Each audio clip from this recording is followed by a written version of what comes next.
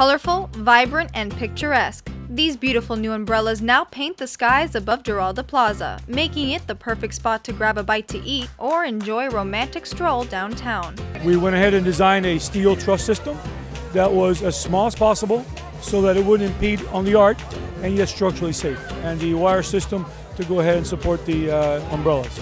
After experiencing Umbrella Sky for themselves, residents and tourists alike couldn't stop raving about this lovely addition to the City Beautiful.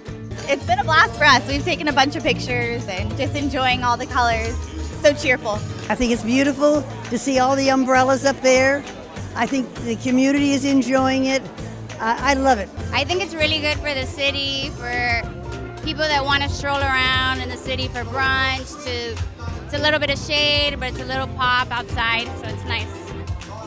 I think it's very nice too. It's very family oriented. The kids enjoy it and the adults enjoy it too. So it's, it's really cute. It's a really nice venue. For Coral Gables Television, I'm Shakira Mollett.